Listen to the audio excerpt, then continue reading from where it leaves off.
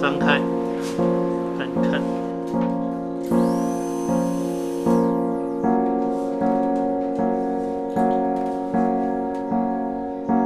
我是个牙医，从事牙医工作已经三十多年。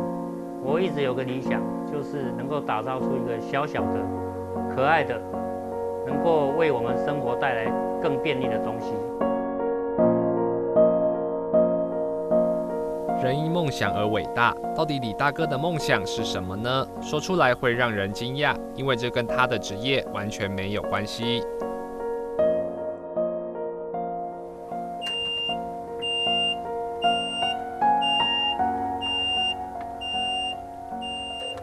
我小时候就很喜欢模型，我玩遥控车、遥控船，所以我一直想打造一个看起来像玩具，可是又有实际功能的迷你小车。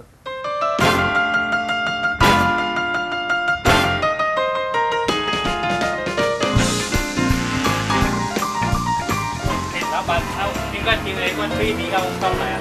来啊来啊来啊！你订的做好用的。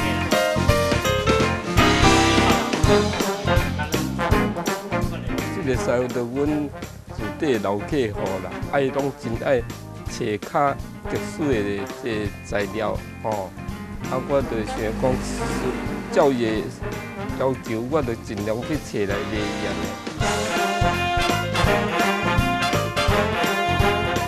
为了做这台车子哈，全台湾找遍了大概两两百多家的材料店，啊，但是车的造型是必须圆弧的。最后我发现木材是最适合，因为它可以弯折，好，然后又很很好施工，所以木材可能是对这样迷你车的呃帮助可能是最大的。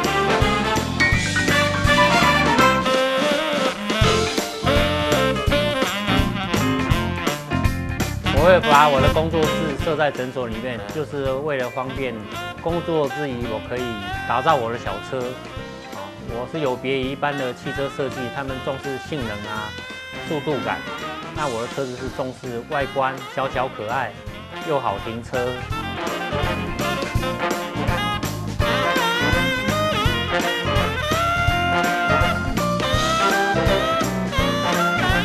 这一台就是我最新的作品。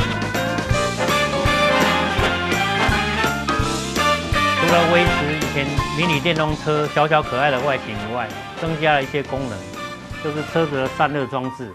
我利用喷水冷却了整台车子，因为我们电动车不适合装冷气，可以用水来冷却。第二个就是它的通气孔，前面有个通气孔，侧面两个通气孔，可以引导很多的呃气流进来。屋顶是要使用透明的，可以看到红绿灯或窗外的景观或下雨的样子。还有前面的防撞杆也是新色的，诶，车的两边都有可以使用家那个家用充电器的开关，或手机充电也可以，从车子中可以使用，像一个真正的行动电源。能追逐梦想很幸福，当然实践过程也需要投注许多努力。看完这台正在打造中的小车，接下来要看的车，听说是李大哥的压箱宝，每次开上路总会吸引大家的目光。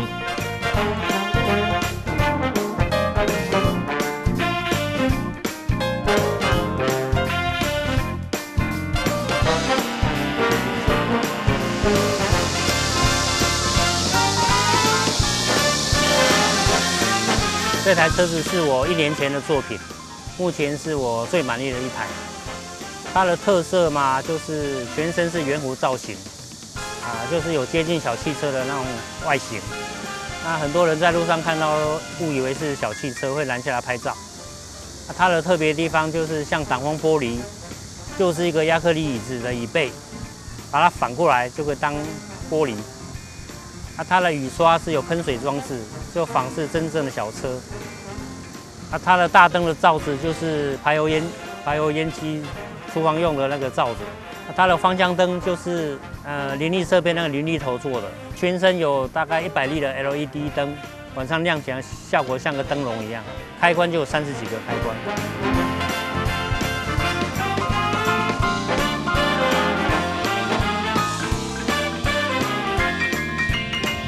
这台目前走到路上是很多众人吸睛，他很会很注意，然后大家都笑嘻嘻的，我看到大家都是笑容，我自己心里也很快乐。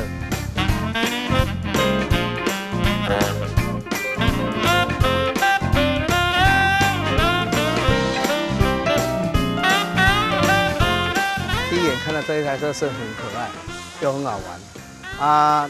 我很想买一台车子，这种的车出来给我那个孙子玩。他在家里哈又很好玩，啊，出来公园更好玩。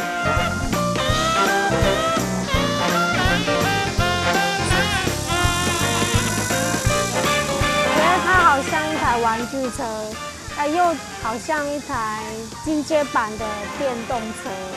因为我自己是机车族，然后想说哪一天可以上路的话，也可以开它去上班啊，就不用怕下雨啊。然后刚刚我儿子看到这一台，一直在问我说这个是不是玩具车，他也很好奇，一直想要来这边看这一台车。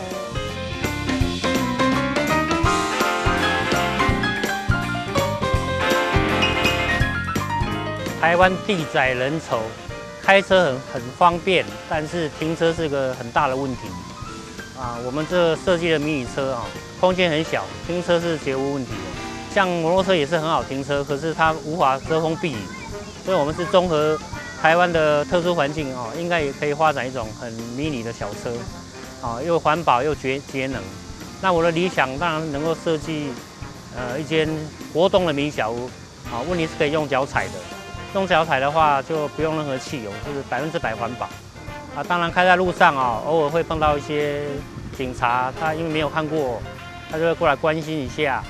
然后他大部分都是友善的态度，说啊这个车子最好不要在路上开。这就是因为我们台湾的交通法规，目前规范这种车子只是行人代步的工具，它可以比照行人在行人道上行走，但是却不适合在道路上通行。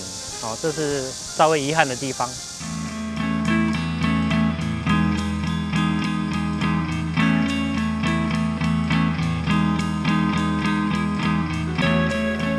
台湾的交通规则对于这种小车没有明确规范，但是看到李大哥满意的笑容，就知道他从打造小车的过程中所得到的满足感一定非常的大。从摸索到实际做出成品。他打造的不只是一台车，更是一个伟大的梦想。